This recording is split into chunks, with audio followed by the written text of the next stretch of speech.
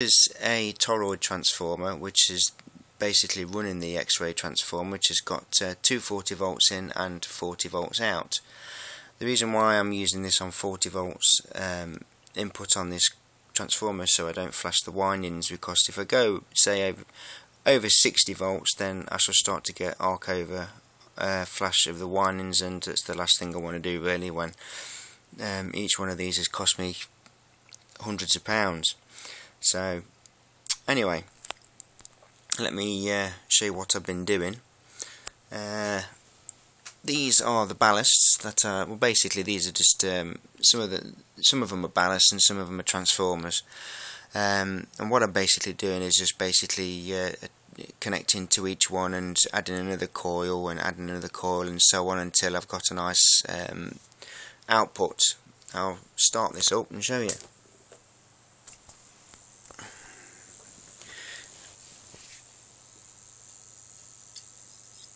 this is the output I've got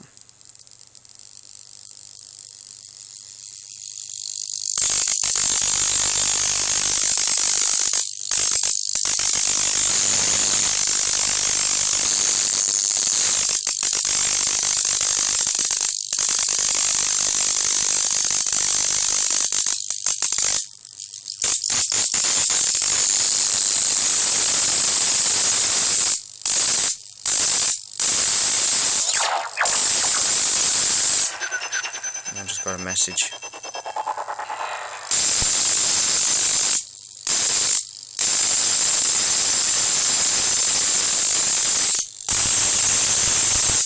Okay, now let me show you it without my ballasts.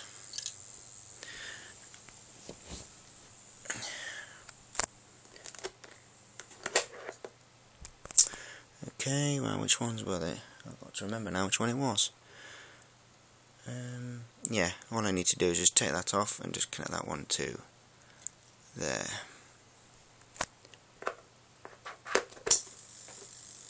So straight away you can notice that there's more of an output.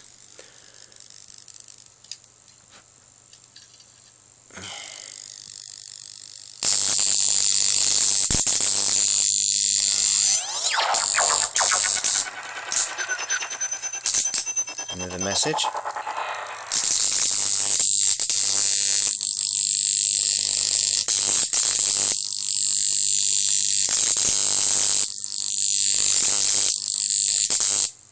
See see.